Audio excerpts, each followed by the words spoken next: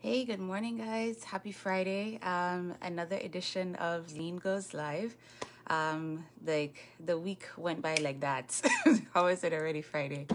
Um, but anyhow, uh, so many great updates to share. So, as usual, um, anytime that I come on, um, we're just going to be talking uh, travel business, and um, travel is booming. Things are getting busy.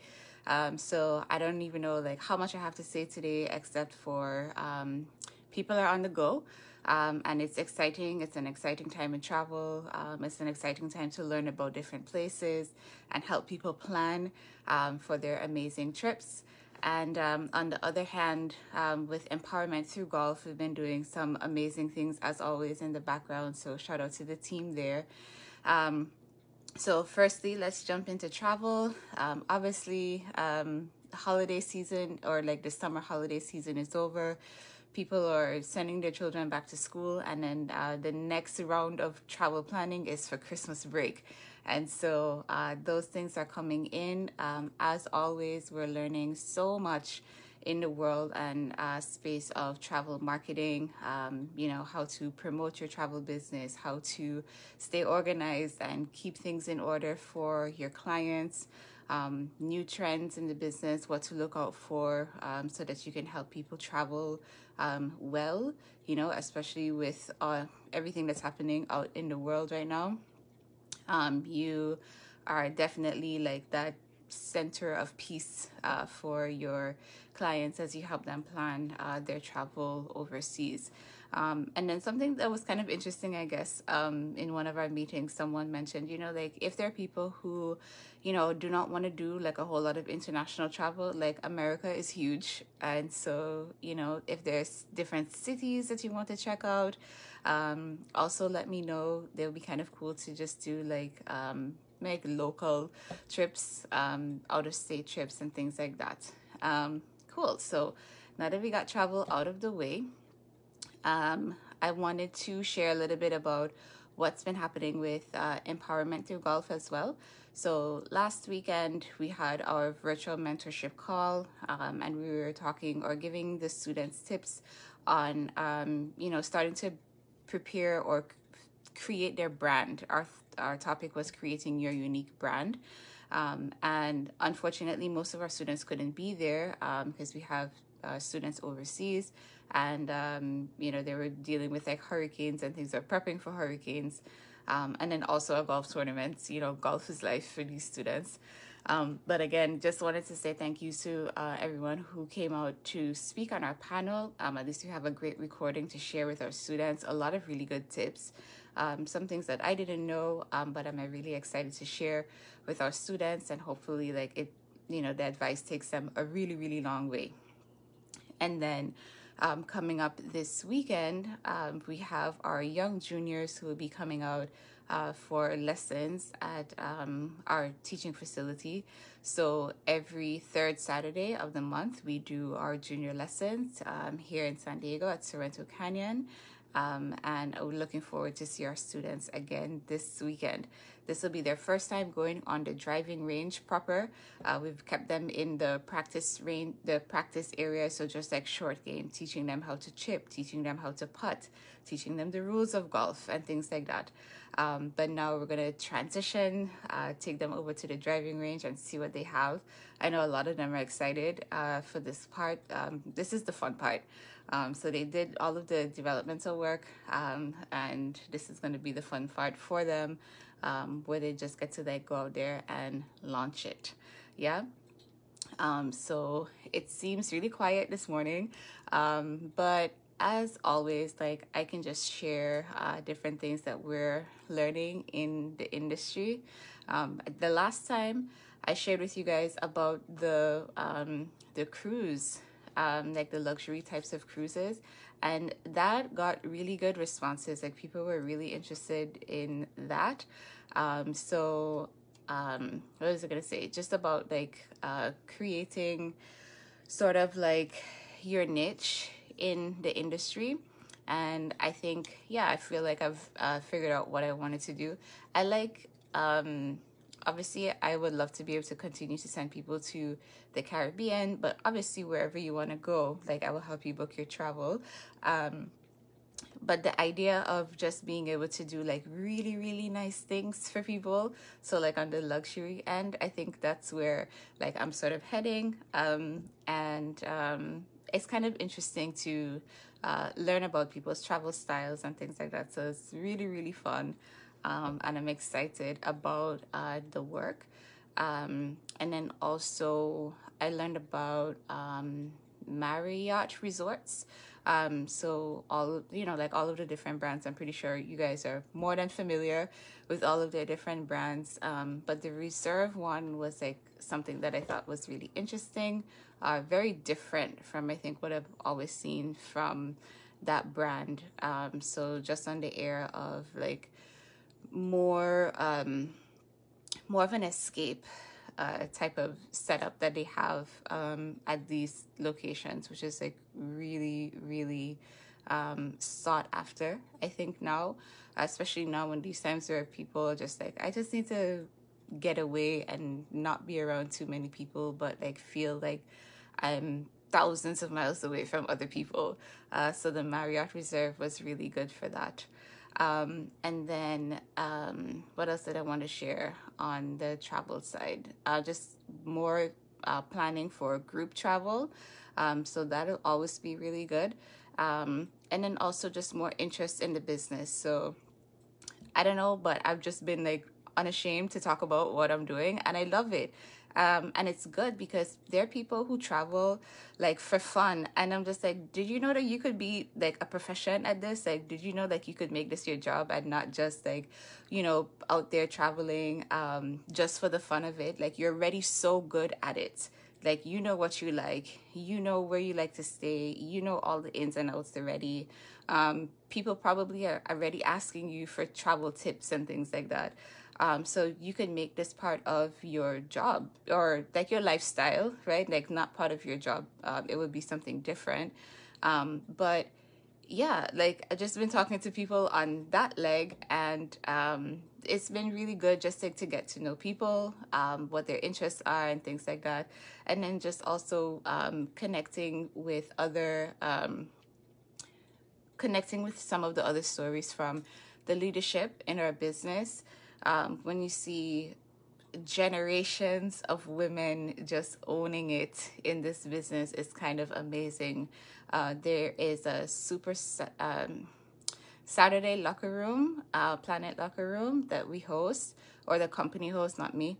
Um, but that's the time when you are able to see like the people who have been promoted through like the different levels of the organizations and the last one was really great. Uh, there's uh, there.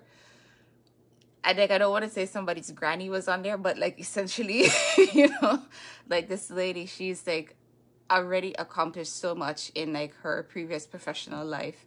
Um, and then um, came on and just to speak about hey morning uh, just to speak about you know what it took for her to be able to be good in in this business um, and then others who you know um, maybe like not as aged and mature as that young lady um, but the generations kept changing.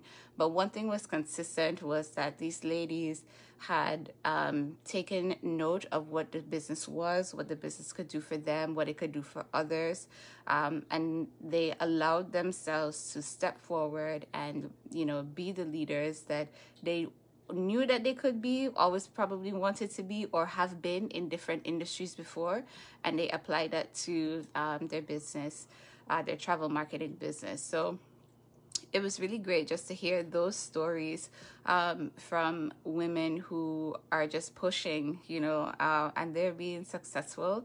And so it's just encouraging on my end um, to be able to like have these uh, stories or um, testimonials, I guess, for a frame of reference, uh, just to keep pushing. Um, so, as always, um, I am your travel agent, your luxury travel agent. Um, if ever you're thinking of travel, I hope that you think of me. I would love to book all of your travel needs. If you have any questions about travel, um, any, um, you know, things are changing daily. Um, so reach out with any questions. Um, if you're uh, thinking of being part of the business, again, reach out. I would love to have you on the team. Um, and then on the side with Empowerment Through Golf, if you had any questions about what our organization is doing here locally in San Diego or abroad, definitely uh, take a look at our site. It's etghub.com. So etghub.com um, or .org, excuse me. And um, yeah, we're doing some awesome things. Um, definitely riding the waves. Students are interesting. Um, their lives are really packed already. Um, but again, we're just trying to be uh, like a guiding force, you know, just put in a little good into their lives and hopefully goes a long way. Um, so our junior golfers here in San Diego are doing great. Uh, they're going to be learning more skills on the range. Um, our students overseas um, are working on developing uh, tournament experience so that they can be prepped for uh, college application season. Um, you know, and then last thing that we spoke with them about, or at least shared with them, was about creating their unique brand. So they are student athletes, but they definitely have other interests outside of golf. Um, they have things that they want to study, like they know what they want to do already when they get to college and things like that. So the only thing that we have to do is just try our best to impart some wisdom, uh, let them know the things that are essential uh, for creating their unique brand. And essentially, it literally is just being themselves, right? So there's nothing else that they need to do in order to be successful except be their true self, and everything else will come. Uh, continue to have discipline, uh, continue to work towards your goals, be open, be optimistic, um, and then the world is yours, you know? Um, so we are super excited um, to be able to share those types of messages with them. Um, the next session that we have for the virtual mentorship uh, program will be on the day of the girl, and that's going to be like another international um, piece that we do. Um, we're hoping to get a lot of support there for people on the panel. Um, obviously, we'll have a lot of work to do in the background for technical uh, reasons um, because we may have um, some of the thanks, uh, some of the students over in uh, Ethiopia. Um, so, and they will obviously be a little bit more uh, tough to reach. Uh, just because of like the technical difficulties um, over there, um, but it will be amazing still for all, um, and I cannot wait. And uh, just I'm happy that we continue to be able to do this work with our organization. And so again, you know, like we're a global organization. So anytime I think of the uh, the work that we will be doing or we are doing, obviously I think of travel as well. So I just see the parity um, with the work that I'm doing in travel um, and the work with the empowerment through golf. Um, I'll be able to, we will be able to go hopefully uh, to the different locations that we're servicing um, or just be able to do the work and travel and support the mission. So uh, everything works in a cohesive manner. Um, but I will keep it sweet and short today, as usual, or at least like I hope I do. Um, but again, I just wanted to say um, again, thanks for tuning in. Um, and then, you know, just the things that we covered over the past couple of weeks are just about, you know, being ready to accept your travel clients, finding things that they like and that they will enjoy, um, finding a niche. Again, like I mentioned that before, but, you know, I think finding a niche in like luxury is really nice because, you know, um, people like nice things and we deserve nice things. Uh, so, finding niches um, in the business, um, being organized for when you do start to, you know, when the doors open, you know, and this is just a, um, I'm here to say, hey, business is open, kind of. Um, so, yeah, uh, those are the main takeaways from this past um, two weeks. Uh, definitely just been working on travel um, and getting things in order for others um, sharing the opportunity, as always, with anyone who's interested in being part of the business. It is a great community to be a part of. Um, and again, like I do this on a part-time basis. I like I'm gonna get ready to go into the lab in a little bit, um, and like I have loads of studying to do, um, but I gotta make time for it. I'm making time for my future, um, so that's my why and um, hope that everyone can connect to their why and find uh, something that uh, they can relate to in the world of travel marketing that could be beneficial for them. And then um, my other heartstring, empowerment through golf, or at least like the, the that's the main thing is empowerment through golf. Um, we're just making sure that our students know that um, they are unique um, they can create a brand around themselves so that um, they can get accepted for any opportunity that they apply for. The first one is probably going to be their college. After that, for their internships. Next, landing the job. You know, all of these things. Um, and then now it's like a very social media type of um, era. Um, so going after going after the things that they want even through social media, um, connecting with people uh, to get their name heard, get their voice heard, um, and just continue to advance themselves. So we're doing a lot of really great things in the background. Um, and if you have more questions, definitely reach out to me. I'm more than willing and happy to speak to you about everything that's going on. So tune in with me again in the next two weeks for Lyne Goes Live and um, enjoy the rest of your weekend, everyone. Thank you. Bye.